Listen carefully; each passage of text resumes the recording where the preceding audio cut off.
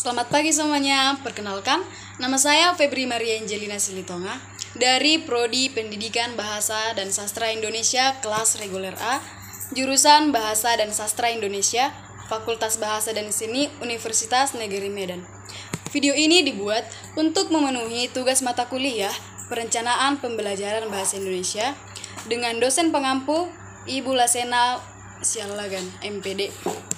E, baiklah, saya akan menjelaskan mengenai salah satu model pembelajaran yang biasa digunakan dalam pembelajaran yang menggunakan kurikulum 2013 atau kurikulum merdeka, yaitu model pembelajaran berbasis masalah. Selanjutnya ada fungsi atau peran model pembelajaran berbasis masalah digunakan untuk meningkatkan partisipasi dan prestasi belajar siswa karena melalui pembelajaran ini siswa belajar bagaimana menggunakan konsep dan proses interaksi untuk menilai apa yang mereka ketahui, mengidentifikasi apa yang ingin diketahui, mengumpulkan informasi berdasarkan data yang telah dikumpulkan. Selanjutnya ada ciri-ciri model pembelajaran berbasis masalah. Yang pertama, adanya permasalahan, yang kedua, pembelajaran berpusat pada siswa, dan yang ketiga, belajar dalam kelompok kecil untuk berkolaborasi dengan teman lainnya. Selanjutnya, ada beberapa langkah model pembelajaran berbasis masalah, yaitu guru menjelaskan kompetensi yang ingin dicapai dan menyebutkan sarana atau alat pendukung yang dibutuhkan. Memotivasi siswa untuk terlibat dalam aktivitas pemecahan masalah yang dipilih. Guru juga membantu siswa untuk mendefinisikan dan mengorganisasikan tugas belajar yang berhubungan dengan masalah tersebut atau menetapkan topik, tugas, dan jadwal.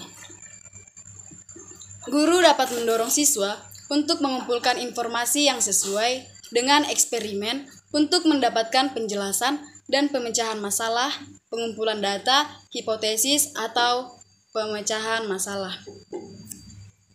Guru membantu siswa dalam merencanakan penyiapan karya yang sesuai seperti laporan dan membantu berbagai tugas dengan temannya. Guru membantu siswa untuk melakukan refleksi atau evaluasi terhadap eksperimen mereka dan proses-proses yang mereka gunakan.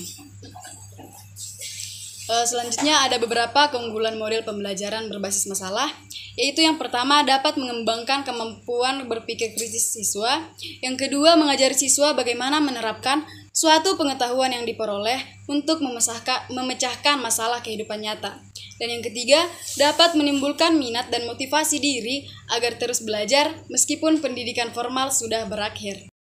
Dan yang terakhir, yaitu kelemahan model pembelajaran berbasis masalah, yaitu yang pertama, Sulit menentukan tingkat kesulitan masalah dengan tingkat berpikir siswa, sehingga guru harus benar-benar terampil dalam pemilihan masalah agar sesuai dengan kemampuan siswa. Yang kedua, memerlukan banyak waktu untuk melaksanakan langkah-langkah model pembelajaran, karena proses pembelajaran tidak bisa disingkat maupun diabaikan. Dan yang ketiga, guru harus sering memberi penguatan dan motivasi agar siswa mau memecahkan masalah yang diajukan. Sekian yang dapat saya sampaikan. Sekian dan terima kasih.